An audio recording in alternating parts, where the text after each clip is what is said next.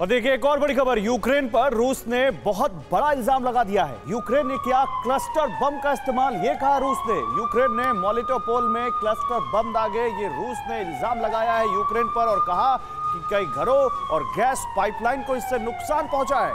तो रूस कह रहा है कि यूक्रेन ने क्लस्टर बम का इस्तेमाल किया।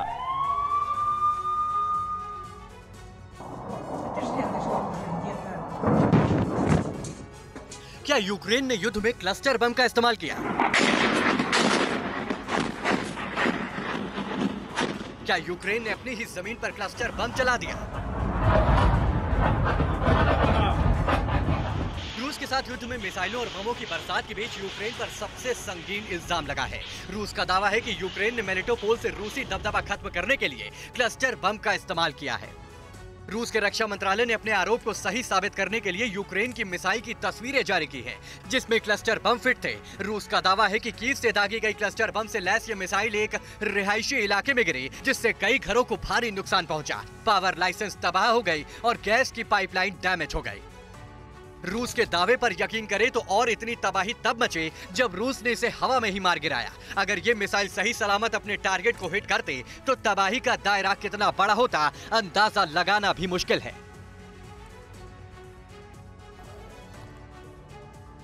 और देखिए, एक और बड़ी खबर आ रही है। एटमी युद्ध को लेकर, एटमी युद्ध पर ब्रिटेन के सीक्रेट प्लान का बड़ा खुलासा हुआ है। न्यूक्लियर वॉर की स्थिति के लिए ऑपरेशन पाइथन एक्टिव किया गया है। महारानी समेत रॉयल फैमिली को सेफ़ जगह ले जाने का पूरा प्लान। पूरा खाका इसमें तैयार किया गया है। बम अटैक के दौरान सरकार को बचाए रखने की तैयारी है। अगर न्यूक्लियर वॉर छिड़ जाती है तो। उन्नीस सौ अड़सठ में फाइनल हुए प्लान का पाँच दशक के बाद बड़ा खुलासा।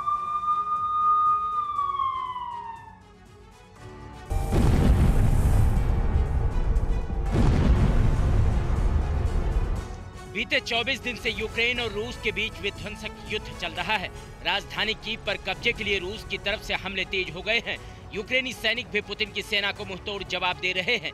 24 दिन में यूक्रेनी सेना ने रशियन फौज के छक्के छुड़ा दिए हैं। खुद प्रेसिडेंट जेलेंस के आर पार के मूड में हैं। जिसे देखते हुए यूक्रेन पर एटमी हमले का खतरा बढ़ गया है।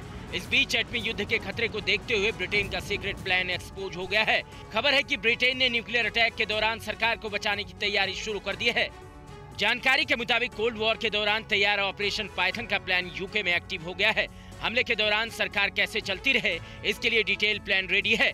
सबसे पहले महारानी और रॉयल फैमिली के दूसरे सदस्यों को सेफ़ जगह ले जाया जाएगा। बम अटैक की स्थिति में 4000 नौकरशाह भी सीक्रेट लोकेशन पर रहेंगे। किसी विशेष जहाज़ को बंकर बनाकर स्कॉटलैंड के तटीय इलाकों में रखा जा सकता है। ये जहाज़ लगातार अपनी लोकेशन बदलता रहेगा, इसलिए इसे फ्लोटिंग बंकर कहा जाता है। 1950 के दशक में इसकी योजना बनी और उन्नीस सौ अड़सठ में इसे फाइनल कर दिया गया। दावा है कि ब्रिटेन के ऑपरेशन पाइथन को समय समय पर अपडेट किया गया।